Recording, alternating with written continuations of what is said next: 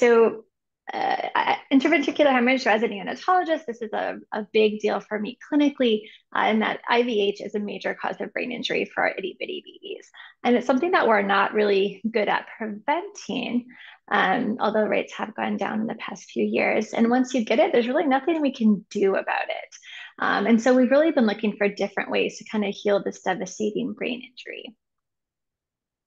So there's been animal studies that show that stem cells can potentially help either both adult and neonatal brain injury. Um, uh, and so this has been, uh, been something over the past few years that we've looked into for different models of neonatal brain injury, such as birth asphyxia or HIE. Now, as many of you probably know, um, human milk obviously is amazing and it has lots of pluripotent stem cells as well as bioactives. Um, and I found clinically that moms are, and, and, lactating parents are super excited to hear about this, and really almost none of them actually know that this is in their milk, um, that their milk has this healing potential. And who knows, maybe these are some of the reasons um, that milk improves outcomes so much. Uh, it's been shown in animal studies and in the lab that these stem cells can produce all kinds of different cells in the body, including neuronal cells and those specific cells um, that are found in the neonatal brain and those kind of baby cells that are important in the brain to then form uh, further connections that haven't formed yet when babies are born early. There have also been some animal models that show that these milk stem cells are taken up into the baby. Um, so this isn't nasal milk, this is just uh, drinking milk. Uh, so this was a cool study in which they they made mice glow in the dark and um, which obviously we can't do with our babies. Um, but they made these mice glow. They then took non-glowing baby mice and had them uh, drink the glowing mom's milk. And they were able to show that the glowing stem cells were found in these babies um, throughout the body, but particularly in the brain um, when they brain injured the suckling mice. So this was one of the first studies really showing this uptake. Again, this wasn't nasal milk. So how about uh, how about nasal milk and why nasal milk? So there's been animal models that have shown stem cells, again, not from the milk, but stem cells in general can be taken up by the nares or the nose. And that's because it's very vascular. We obviously use it for, um, for medications. Uh, and the neonatal brain has probably a more permeable blood-brain barrier. So it probably allows for things to pass through versus if you or I tried to instill some cells into our nose. There had been a report a couple of years ago out of Germany that for a few babies in their NICU who had IVH or intraventricular hemorrhage, they put some milk in their noses to see if maybe this might help. Um, but it was more of kind of a case series, and they didn't do any formal um, follow up studies um, in, in the long term. So I'd read this article um, had actually around the same time been reading more about stem cells in human milk and was very excited about this. And so we decided that we wanted to do the first kind of protocolized uh, intervention using this model. So this is just a safety and feasibility study, so not big enough to be powered. We really wanted to do it um, in a, a scientifically rigorous way that would help us then plan for future larger powered studies we were looking at short-term outcomes in the NICU. So were we able to decrease brain injury enough that babies didn't get uh, progressive hydrocephalus or extra fluid on the brain? Would they not need uh, intervention such as surgery um, if the, the fluid-filled spaces became blocked, et cetera? And we also um, wanted to collect outcomes. All these babies are seen in follow-up clinic. Um, so we collected outcomes at four, six, nine, 12, and 18 months, and we're gonna see if we can get 36 month outcomes as well. Now, the challenge was that uh, I was funded in um, uh, basically the month before the pandemic um, hit the world.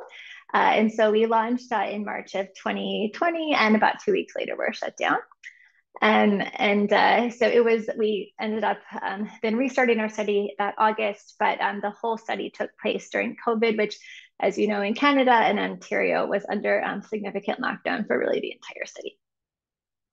Um, these, these, were babies born preterm, so less than 33 weeks at um, two NICUs in Toronto. And we administered uh, 1.6 mLs of fresh milk every, every day. So it had to be fresh because stem cells don't last for very long outside the body. So uh, within three hours, they start to die. So Ideally, the parent pumped at the bedside, and then we immediately put the milk in the nose. That wasn't always feasible. I did go to a couple of people's houses who had active COVID in like hazmat suits and picked up their milk and quickly um, whisked it to the hospital. Um, but ideally, they would pump in the room. Um, and we were basically seeing do babies, especially these tiny primes who are on respiratory support, do they actually tolerate us shoving a decent amount of milk in their nose? Because 1.6 ml a day doesn't sound like a lot, but when the baby is like, you know, the size of a small burrito with 500 grams, 0.4 ml actually is a pretty large amount of fluid to, uh, to put in their nose, especially if they're obligate nasal breathers and are on nasal respiratory support. So our focus was on safety. We had a closely monitored data safety board. Um, we wanted to know, was it feasible? So we taught the nurses at the bedside how to do this. So did they feel like it was okay? Did it mess with their workflow? Did they uh, think it was okay for the baby? And then of course, these follow-up testing, gross and fine motor communication and cerebral palsy rates. Again, not powered. So we were able to convince 37 parents to enroll their, their babies. Um, the vast majority of babies with high grade bleeds did enroll actually, presumably because as a neonatologist, we don't really have anything to offer. Um, and these were pretty small babies, average a kilo and about 27 and a half weeks. And about a third had severe um, uh, head bleeds. Uh, and again, we were only actually going to do the severe ones at first, but as, as always happens, as soon as we started the study, there was like no severe head bleeds. So we ended up opening it to, um, to everyone who had any degree of IVH. There were a couple of babies who still need, did need surgical intervention. Um, this was overall a very high risk group. Uh, we did have three of the 37 babies die from unrelated um, uh, issues in the NICU. So overall, the study was a success in that we were able to instill the milk in these babies' noses. Babies, received about 17 days of milk. Our ideal would have been for sometime in the first 28 days to try to have milk, um, but typically they weren't enrolled till about day eight or nine because they had to have the head ultrasound. Parents had to be informed about the head ultrasound, decide they weren't going to redirect care, and then a reapproach, and then they consent. So it took us a while to kind of get those first doses it would have been ideal to probably to you know get it earlier if we could, but it is well, it is what it is. Um, and they got again about 17 days of milk, and 84% um, got at least seven days of milk. We weren't sure how long to give it. Animal studies typically give a single dose, so we were like, the more the better. Um, and so we tried to try to give us a bit for as long as possible. We had no major safety events. These are kind of all the events out of these hundreds of doses that were recorded. Um, the the only two that were considered moderate and not mild were um, two that had increased respiratory support requirements, so had to go from CPAP to non-invasive support, for example. But in both of those two cases, the babies actually had other underlying things going on and ended up having um, air leaks uh, in the chest, which were again unrelated to us. So uh, overall, they tolerated it very, very well. We did a lot of, um, we took qualitative aspects, we did surveys, these were the nurses and uh, RTs and MDs who administered this. So 162 people took the survey. The vast majority um, felt like it was relatively easy to give, that babies tolerated it and it was feasible in their workflow.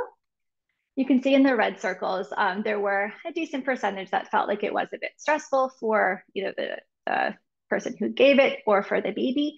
Um, so those are things to look into further. Um, we did have parents that actually gave it as well. Some of the parents were super invested in this and they did the whole process. They pumped, they brought it to the bedside, and they actually gave the baby the milk um, in their nose, and they were very empowered with that. It was really cool to watch. We did a stem cell analysis as well for a subset of these samples. This proved very challenging logistically because the lab was shut down for a long period during COVID. Um, and then trying to actually get the milk from the mom to the lab and processed within an hour or two of pumping during a pandemic was a little tough. Um, so we only had a handful of samples. Um, but when we did run them for different cell markers, we did find a pretty high percentage of certain cells that um, are associated with pluripotent uh, stem cell status, um, which was exciting and kind of a proof of concept.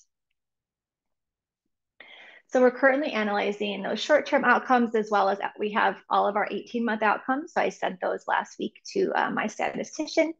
And we're comparing all of our babies to a cohort from the year prior from the same hospitals who had IVH, who were um, parent milk fed. Um, and we're going to control for the degree of IVH and see if there's any signals at all for any potential benefit for those babies who enrolled. Again, it won't be powered, but we're hoping we might see some signals. And when we initially looked at our cohort, um, their outcomes looked very similar to normal prems. Um, so babies without IVH when we just looked at the initial numbers. So that alone was exciting because we know that severe head bleeds um, do very much worsen outcomes. So that initial little sprinkle of data looked promising, um, but we should hopefully within the next few weeks actually have, uh, have that data. So in conclusion, we found that this uh, intranasal human milk was safe and was feasible in very preterm babies with IVH. Um, again, was unpowered, but we're really hoping this will be helpful to plan for future powered trials, which would be multi-center um, trials that require many NICUs in North America. And had lots of great collaborators at Sinai and SickKids that I'm still working with remotely. Happy to take uh,